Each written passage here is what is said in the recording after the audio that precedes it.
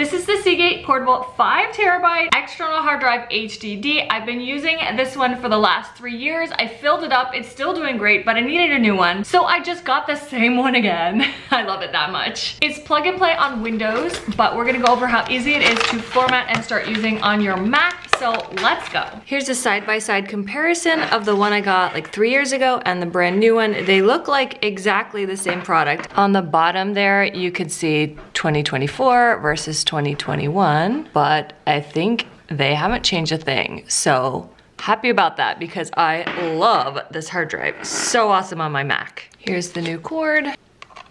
This is PC and Mac friendly, but this is the output. So if you have a newer Mac, you are gonna have to have a dongle or a dock that accepts the standard USB-A output here, which I do. There are no instructions that come with this. If you have a Chromebook or Windows, you're just gonna start right here, super easy. It just pops up when you put it in your USB slot. But if you have a Mac like I do, I'll just go over the instructions right here with you so you can just watch this video. Basically, you're gonna have to reformat the drive. You need to figure out which operating system you're on, so just go to About the Mac. I am on Monterey 12. That's here. You need to decide which system you want. It seems like basically APFS is newer and keeps track of permissions. The HFS Plus is better for older systems, 10.6 to current and supports journaling. Neither of these will mount on Windows. We are gonna go with the Apple file system, APFS. Open disk utility, and we're going to open the drive.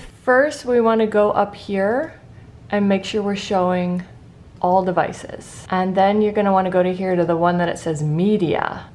Right click, erase, and over here we're gonna name it Seagate 2024 AFPS GUID partition map, click erase. There we go. In like 30 seconds, you are good to go. Done. It's got almost the complete five terabytes ready to use. So hopefully this will last me another couple of years, just like the first one. This one didn't fail, like it's still amazing. I just filled it up in three years. So here we go, ready to start using this one.